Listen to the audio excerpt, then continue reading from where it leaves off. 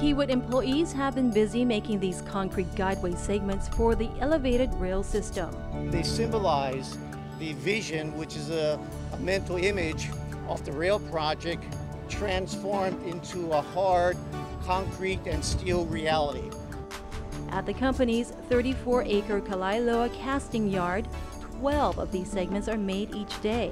It's a pretty massive undertaking, and uh, we're very excited that the production here at the facility is moving as well as it is. Each segment weighs between 40 to 50 tons and is 11 feet long, 30 feet wide, and 7 feet tall.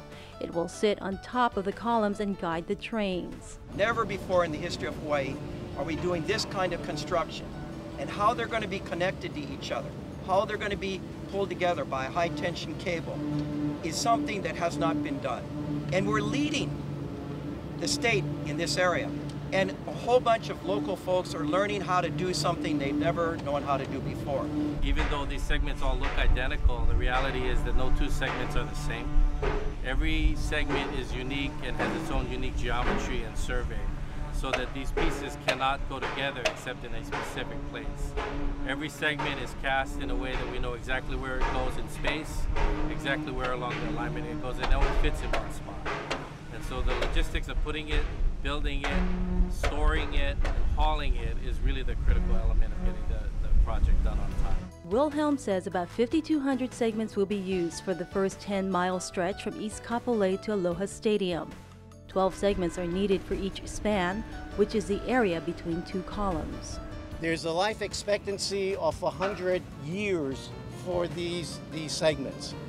And with that life expectancy of 100 years, it symbolizes really and truly that this project is not just for us here, but it's for future generations, for our children, for our grandchildren. And it's happening here today.